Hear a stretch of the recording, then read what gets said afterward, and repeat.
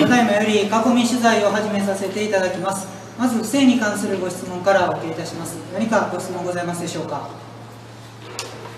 すみません、共同通信です。はい明日全国知事会がありまして、うんあの昨日会見でも少し取り上げていた地方法人税の改正については、小池都知事は知事会と距離を取るという発言もされてますけれども、その辺は大阪のスタンスどうでしょうか？知事会の提案、知事会の提案にまあ東京とかその大都市のいわゆる意向が反映されてないっていうので、あのまあ知事会と距離を取ることを考えると小池さんは言ってるんですけれども、まあ。いや、小池知事が、あの明日全国知事会でその件を発言するというから、あ我々賛同しますよって伝えてますけど、えそれは愛知東部に賛同するということですか？え、いや、愛知のことまで僕に言わ聞かれてもわからないけども、あのえー我々大阪府としては、これまでも言ってるように、まあ今頑張って、えー要は大阪の経済を活性化させた、えー大阪の法人税伸ばしてる時にね、えー伸びた分を、あのえー国に召し上げられると、これ頑張ってきた頑張りしろがないんで、えーそれについては、もうあの、えーあの反対するということで、これまでも言い続けてますから、えー小池知事と考え方はそこの部分は一緒です。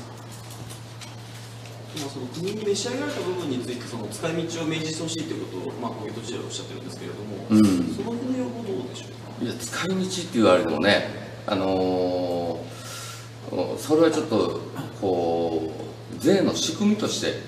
それは無理でしょ一般会計に入ってその後どうおお金に色はついてないわけだから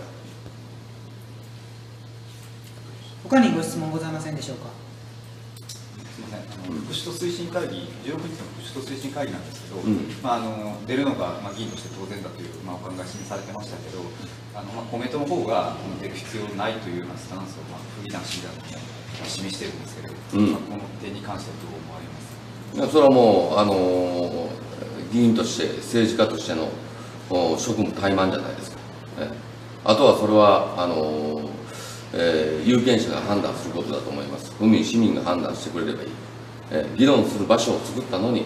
えーボイコットすると、えーそれは政治家としての、えー職務怠慢職務放棄になると僕はそう思っています。ちなみに出なかったとしたら、まあ、今後のその法提供の議論とかに影響とか出てくると思われますまあ、あの実際今も法提供の議論には影響を及ぼしてるわけだからね、うん、まああの非常に、えー遺憾ですよねそれは、うん。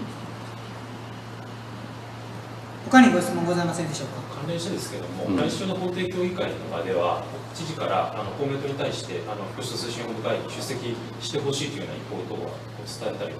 いやもう伝えてますから、あの組織としては、我々役所組織としては、うん、法提供は会長の、あの会長が運営するもんですからね、うん、そこはもう、あの法提供でのお議題、えーそれ議論すると。でまあえー福祉と推進本部会議の、えー出席の要請は、これはもう組織として伝えてます。まずせ正式にこう出席するしないというのは、こうまあ、自民、公明、共産党ともにこう帰ってきては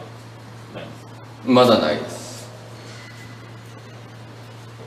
他にご質問ございませんでしょうか？